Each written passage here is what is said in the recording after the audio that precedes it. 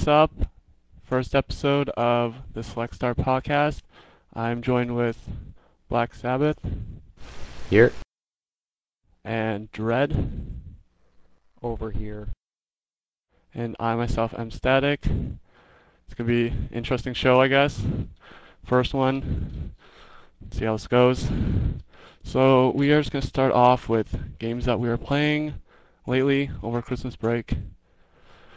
So I guess, uh, Sabbath, do you want to start?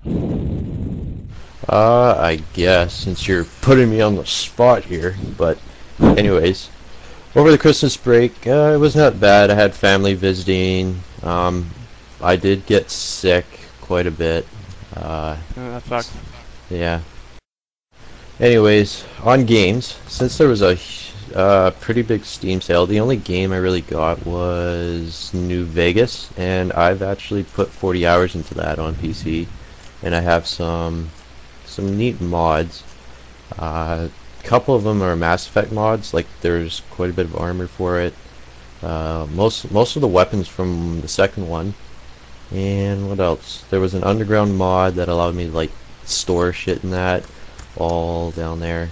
And it's quite a neat mod. If you ever check it out, if you want to check it out, go to the Nexus site for Fallout uh, New Vegas, and it'll be up there. For the Mass Effect mods, though, uh, you kind of have to earn your way up in F3 Underground. Um, it's not that hard. 30 posts in three days. Well, you have to post 30 times, and you have to be a member as long as three days. And the guys over there are pretty cool. Um, yeah, there's a lot of people that are in the Mass Effect over there. That's because it's an exclusive mod. Um, And Fallout New Vegas, everyone should be playing that game. is flipping amazing. So good.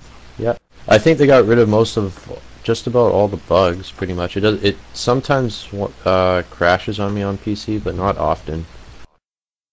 Yeah, the one bug that was bothering me the most, they got rid of. It was like, I was so happy. I was like, now I can have my teammate back, who I couldn't use before. Yeah, I know it was so annoying. Plus, uh, I think they fixed the companions. If they ever get uh, stuck on anything, you turn around, they actually teleport to you right behind you, kind of thing. Oh, that's good. Uh, that uh, and I've been playing Black Ops, not so much anymore. Um, it is fixed on the PC, uh, but I think I've pro. I think it's not compatible with my processor that I have, and it to drop my inputs. Um, another game is Bad Company 2. I did the Vietnam playthrough before Christmas, actually. Um, it's basically just a multiplayer pack that uh, has different vehicles and weapons, and it's uh, not really a leveling system. It's alright. Uh, I'd wait until the price drops. 15 bucks for it's kind of a little much. I think if you get three Mm. maps and a couple of new weapons. You you don't upgrade your weapons like you do in the main game. Um, there's different vehicles. Uh, a lot of the helicopters are underpowered now. Uh, the tanks are big, heavy, and bulky, and they're not as precise as the original game. And that's about it for games. Um, I think I'm, I might. Oh, actually, I did buy. I ordered a Dreamcast off eBay, and Nice. I'm waiting for the notification to say that it's been sent. And so far, I heard nothing. But I did get a notification on uh, Phantasy Star Online. That's coming. And Quake 3 should be coming as well. And hopefully, I'm trying to get a broadband adapter for it so I can try the online part. Because there is still online support for the Dreamcast. People still playing that? Is that like hopping community over there on the Dreamcast? Pretty much. It's like um what would an example be? It's it's it's got a kind of like a PCS kind of community. Like you there's there's so much support for the Dreamcast now, unlike PS2, GameCube and Xbox and all that gen. It's pretty uh still going. Which is really strange because it was like the console that didn't last. That's cuz PlayStation killed Sega, which is kind of unfortunate. Dreamcast is an amazing machine. Um, what else? That about wraps it up for me. I've been, and the latest game I've been playing is Minecraft. Ah, And- Minecraft. Yes, Minecraft. So, that's about it for me. On to Dread. Okay, so I haven't been doing a lot over the break, but pretty much the only games I have been playing are a couple that I've gotten for Christmas. One was Lord of the Rings Conquest, which is basically reminds me a lot of Star Wars Battlefront 2 for the uh, PC and PS2, except Lord of the Rings style basically. And I've also been playing a lot of Minecraft as of lately. Uh, just building whatever really. Very nice. You also Yep. uh, saw what I was building on Minecraft today. Yeah, that was pretty sick. Especially uh, uh, uh tower, whatever you had that was going on in there, the Athenian city. Well, thank you. I did work hard on that. Take you a lot of time to build the city of Greece or whatever. Yep, it's gonna take me a while. I want to see what Dread's doing. Probably after the podcast, probably check out his server. He's just making dirt houses. I don't know. Are you making just dirt houses, Dread? Yeah. I can teach What- you a few tricks of the trade. Yeah, I'm pretty suckish right now. I'm building basic castles. Don't have any real cool stuff yet. Sweetness. So I guess this is me now then. Um, uh, what am I playing? I was playing Fallout, and then something happened, and I have to do something I do not want to do, so I'm not gonna finish it. Quite sad. I'm very depressed. Th- What? Didn't you get Hot Pursuit? Yeah, I got that, and then I started playing that, and that game is flipping awesome. Like, ah, so good. People at Criterion make like the best racing games. They Arcade do, racing but I games. felt. Yeah, that's that's fair statement. But I felt that the steering, the steering breaks the game for me. Really? It. I guess it's kind of like they don't steer like uh, they kind of steer weird, but you just kind of adjust to it. and I find it was kind of fine. Yeah, it does. It does take a while. No, because lots of people are playing online, so I find the game like instantly, and you're jumping in. People are playing like every type of like match, so you can go anywhere and find like enough people to play, and it's really awesome. Yeah, it's pretty sweet. I I know when I was playing. Should probably get back into it sometime, but uh, Yeah, the we should have to matches, the, the the matches that I found the best were actually the sport mode with like the RX-8, uh, the 350Z, and all those low end cars. Like they're not overpowered and really fast. I find them a lot funner online. Especially when you're playing like the supercars, like you touch something and you just like flip back control. And it's like I I barely tapped that.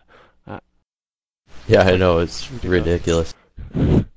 And then I also I'm playing Pokemon Mystery Dungeon, the newest one. That game is it's really fun, but it's like ridiculously hard. I got to like the third dungeon. I've died like six try six times trying to play it. I don't I don't know if it's because I suck. I feel it's just like completely unfair to me, and there's nothing I can do to like try. And every time like you go or you die, the dungeon like regenerates in a different way, so you never know what to expect. That's an interesting concept, having regenerized dungeons every time. Yeah, it's really cool. And every time it's different items. So sometimes I'm like, I find all these sweet items that help me get to the end. And sometimes like I get like the crappiest items and I die on like the first floor. And it's like this whole thing over again. I have to watch this whole stupid cutscene over again. Super annoying. Yeah. Try- Is this for DS? Yeah, it's the DS game. It's pretty sweet. I'm trying to think what else I've been playing. Uh, I played a little bit of BlazBlue. That game is really sweet. Kind of ridiculous. You don't really know what's going on. It's just a lot of flashing lights.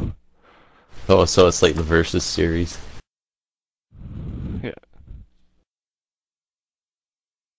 So I think that Yeah, about wraps it up for introductions. So what are we going to move on to next? Um, we are going to move on to some news topics I have found. Let's see, what should we start with? We'll start with Harmonix. So as you know, um, Harmonix was put up for sale by uh, MTV and what's that company called? Um, Viacom. Viacom. That's it. Yeah, it says right there, Viacom. And so Viacom and MTV originally bought them for 150 million about, and they sold them to Columbus Nova for 49.99. Yeah, I think that's the only amount of money they've actually gained from the sale. It's it just seems like such a ridiculous sale, but if you think about it, like all the stuff that Harmonix brings along with them make it seem like it's not that terrible of a deal. No, because all that that 100, uh, 150 million uh, price tag is all due down to liabilities and uh, basically the products they still have and hardware and all that. Yeah, all Um, every like artist they've like ever like paid royalties or whatever to, they just still have to pay all that stuff like for the licensing. Yeah. I mean, I haven't played Rock Band 3 yet. Um, I sh probably should because it's more of a musician's actual game, which is a good thing. Because I was actually hoping for that like two years ago, and now it's brought out, and I haven't I haven't had a chance to actually pick it up and try it.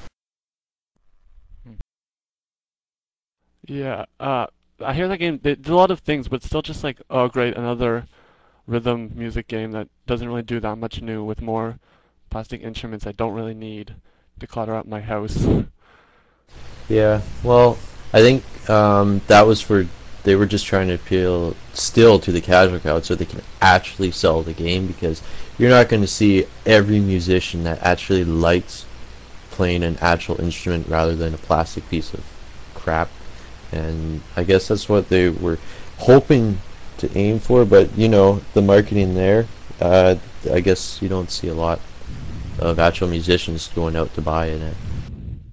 hmm And even like games before that, like Beatles, I believe undersold a lot. Like it didn't sell as well as they thought it would be, being it's like the Beatles. And who bought Green Day Rock Band? Like Green Day is not like a product that's gonna be like huge. I know. I, I still don't know why people actually listening to the band since it was uh, famed as a casual band anyways when it came out.